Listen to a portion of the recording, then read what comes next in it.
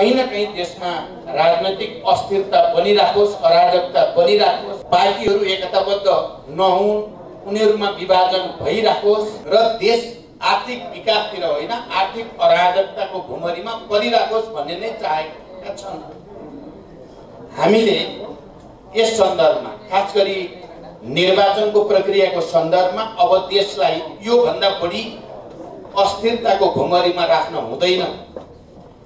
त्यसबाट बाहिर निकाल्ने दायित्व मुख्यत कम्युनिस्ट र वामपन्थीहरूकै छ प्रगतिशील शक्तिको छ भनेर नै हामीले कम्युनिस्ट एकताको कुरा वाम गठबन्धनको कुरा साझा उम्मेदवारको कुरा साझा घोषणाको साथ हामी यो निर्वाचन अभियानमा पछिल्लो प्रदेश र सङ्घको निर्वाचनमा गयौँ।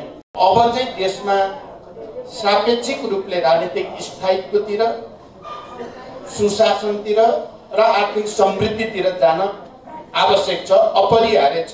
समाजवादको यात्रा हामीले अगाडि बढाउनु छ। त्यसको निम्ति जनमत निर्माण गर्ने कुरा रणनैतिक महत्त्वको कुरा हो। र जनमत निर्माण गर्ने कुरामा पत्रकारिताको भूमिका र जिम्मेवारी धेरै ठुलो छ।